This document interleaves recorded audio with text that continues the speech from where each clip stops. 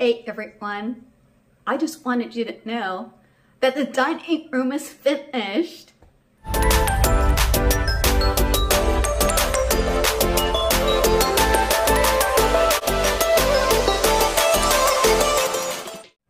Well, it took a while to do the dining room because not only did I have to paint it, but we got rid of the little trim that they put on the side, kind of like a uh, chair rail, and um, I got rid of that, and I put wood planks in its place, so I had to cut the wood, and of course attach it to the wall. So another thing that we had to do was to replace a dining room chandelier, and used to be just three lights, but it really wasn't as bright as I wanted it to be.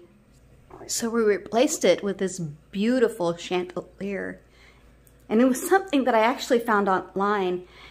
And I really love the beautiful glass globes. And so it hangs from the ceiling at different lengths. But I mean, look how beautiful it looks over the dining room set. So the previous owners left the dining room for us. It's nice too. I mean, it's from Ikea. They left us eight chairs, but we're only using six.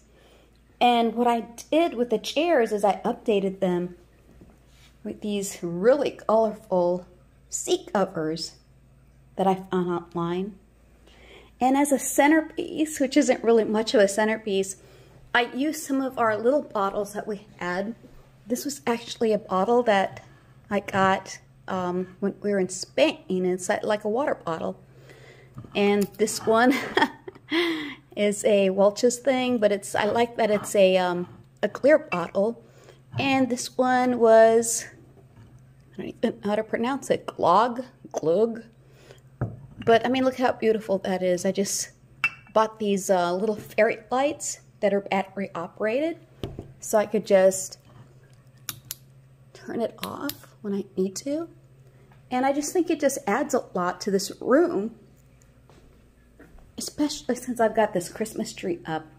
We actually bought this nine foot Christmas tree. Again, we bought that online and it was a pretty reasonable price. In addition to the, the wood planks, my husband built this railing. I was so afraid that my grandchildren would fall from this area because this was totally exposed. And this is pretty far. An adult could easily twist an ankle just falling from there. There was like a couple times where I had forgotten that the stairs ended right there. And I was gonna go, you know, down this way. And then I stopped myself because I realized that there was a huge drop. For safety reasons, my husband built this and I think he did a great job. So he built it and I stained it with uh, like a honey oak kind of a stain with a polyurethane. And I wanted it to look uh, natural, so I think it's beautiful. And I think it goes very well with this dining room. The, the wood floors are really beautiful. And so I actually painted the walls all the way to the very top up there. And I just love these beams. Another thing that I did in this dining room is that I painted the windowsills. So the windowsills used to be like a really dark wood stain and it was beautiful. But I wanted people to notice the wood beams that are on the ceiling instead of the windowsill.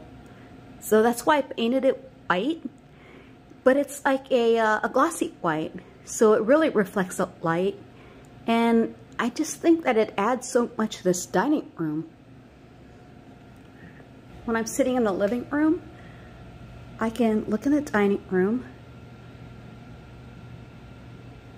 and just uh, enjoy this look and it's very spacious. So that's what I've done so far. Living room is almost finished. I just have to finish painting the foyer area so that way you can see what it looks like from the foyer all the way into the living room. And we are going to start our demolition in the kitchen because we've ordered cabinets or like shaker style was this closet area um, I want to get rid of it because it just feels like it's in the middle of the room just here's this huge wall and all of a sudden there's this closet that's like right in the middle and it's just taking up so much space I really need more cabinetry and more counter space so we're gonna get rid of that closet. We're gonna add a pantry. But most importantly, we're gonna add more cabinets and more counter space. So I'm really looking forward to what we're gonna do in the kitchen. Well, we will have to get rid of some of the walls, which is gonna leave like damage to the ceiling and the floor. So for the ceiling area, we're thinking about covering it up with some shiplap.